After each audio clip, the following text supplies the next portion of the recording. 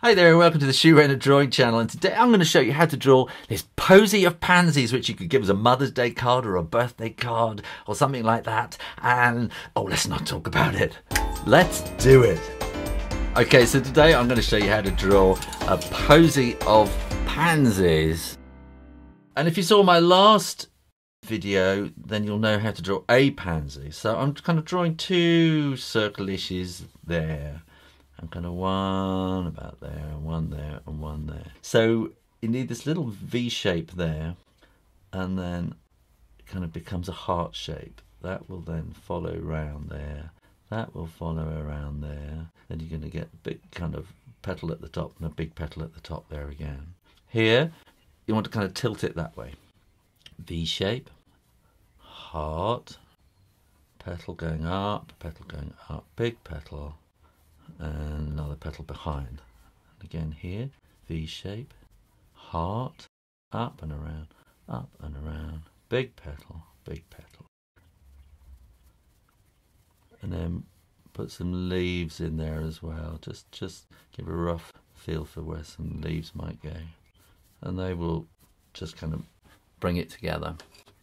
And then here we'll have some stalks and we'll have a bow with a rough little bit of string like that. And now I'm going to ink those a little circle in there. So do these little and kind of around the heart shape. And you can make it slightly wiggly line if you like. It kind of adds a bit more authenticity to it.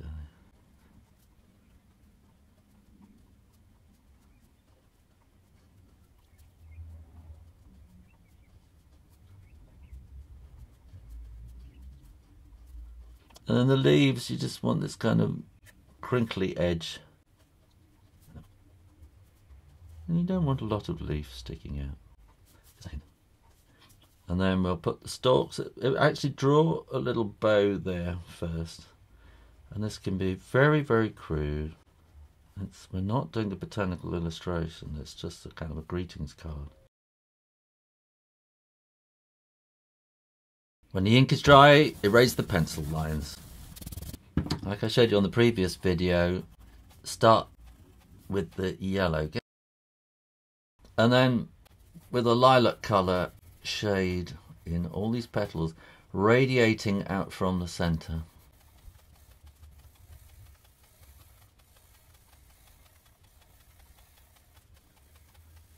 And then with a darker shade, you want kind of a another heart kind of shape like that.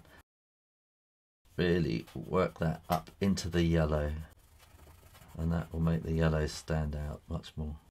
So these are the, the bottom winged petals. I'm just doing all of those first. And then make it really dark behind there so that the front petal stands out. And then do something similar in those uh, secondary petals. I don't know what they would be some technical term for them. And again, radiating from the center. And then these top leaves as well, you can then put a little bit of, and then the one behind as well. And then we can make these kind of edges a little bit darker just to add a little kind of curl to the petal and definition to the edges. And also you can add a little bit more here to kind of make these petals behind the one in front. So it's just kind of a bit of shadow really.